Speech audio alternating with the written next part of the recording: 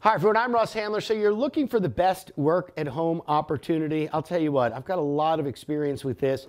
And one thing I suggest is that you get started with eBay. After all, you could work at home on your computer, in your underwear if you want. And as long as you got a good product or service, you're going to be very, very successful. Now, a couple ways you could do it. First, look around your home. What do you have that you don't want? Perhaps you don't want this anymore. Well, go ahead and put it on eBay. Put it on there for a fair price. People will start bidding on it, and you'll be quite surprised at the bids that you get. Now, another way that you could find good products to sell on eBay are through what are known as drop shippers. Drop shippers are organizations that have tons of products and for a reasonable amount of money, usually not more than 29 to $35 a month, you can become an affiliate. You could sell their products on eBay and they'll go ahead and give you a great rate. You mark up the product and whatever is left over is yours. You send them the money with the information of your purchaser. They'll ship it right out to them. But keep in mind,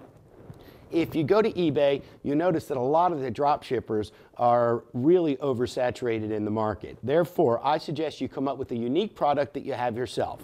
The best things that sell are the unique items in your own home that you just don't want anymore. Or perhaps you know somebody who does some unique stuff like uh, portraits or some other unique things, okay? Those are the best things that really get sold on eBay. So keep that in mind. eBay is a great way to make money as long as you got a good product or something unique.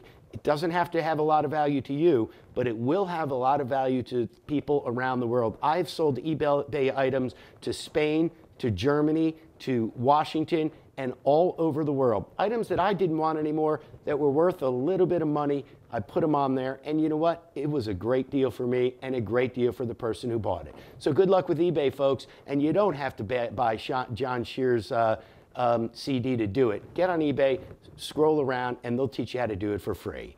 I'm Russ Handler. You have a great day.